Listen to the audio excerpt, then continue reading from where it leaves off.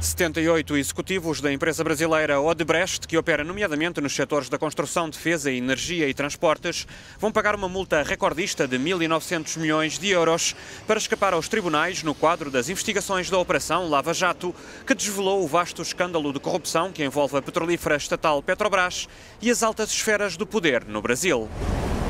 Os executivos aproveitam um benefício jurídico na legislação brasileira, assinando um chamado acordo de delação premiada e leniência, colaborando com informações relevantes acerca dos crimes investigados.